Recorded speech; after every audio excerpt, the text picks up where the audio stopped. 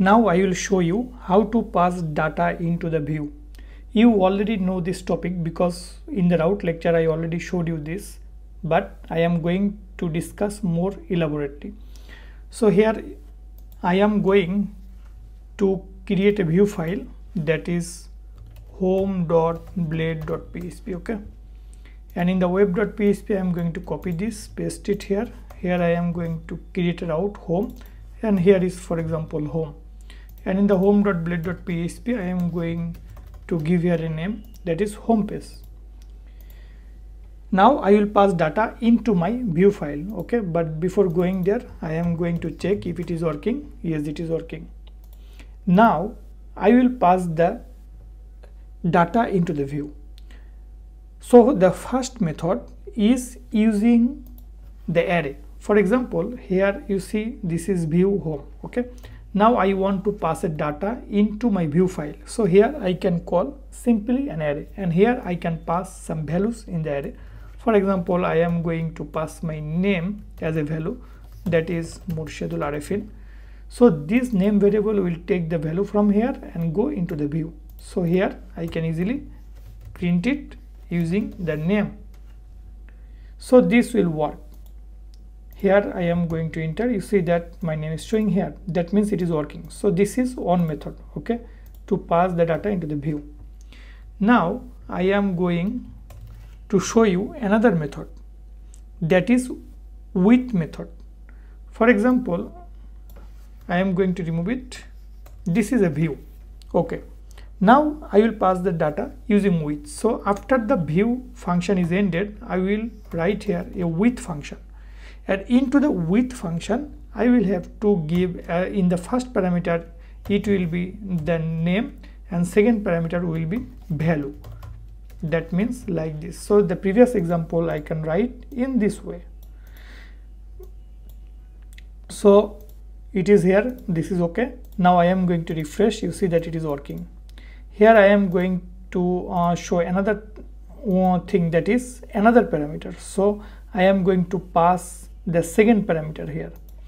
The first one it was array. So here to pass the second parameter we could do that easily using like this right?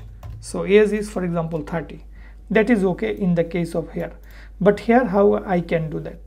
I will have to call another with so here I am going to copy here paste it here and here I am going to give the name here that is s and here I will pass the value that is this so I can easily show it here. So refresh. I actually did not show the age here. So here I am going to give like this.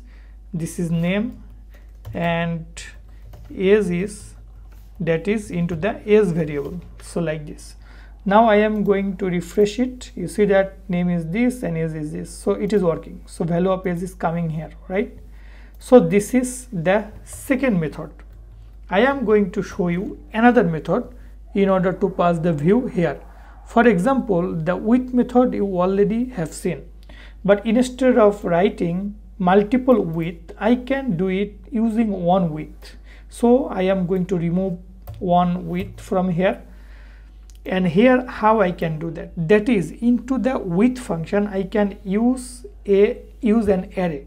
So here I am going to put it into an array so this is first element of the array uh, here but as I am going to use an array so here I will have to give it like this.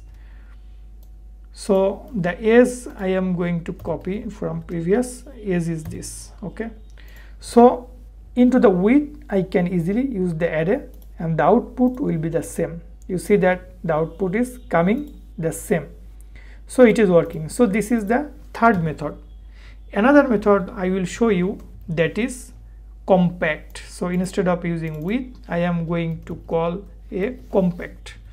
I am going to remove these things from here and into the compact I will have to give a variable. For example here I am going to call a variable and into the variable I am going to taking my name like this and into the s variable I am going to take my age and that one I will have to pass here all the variable data using the compact. So in this way you can send the data into the home view. So if i go here refresh. Sorry what i did here uh, compact actually compact will not work here. I made a mistake here. Not like this. Compact will be actually the second parameter of the view like this. Okay so in this way compact will work not like this. Compact will work as the second parameter of the view. Now i am going to refresh. You see that the output is showing perfectly. So i hope you have understood how to pass data into the view in multiple ways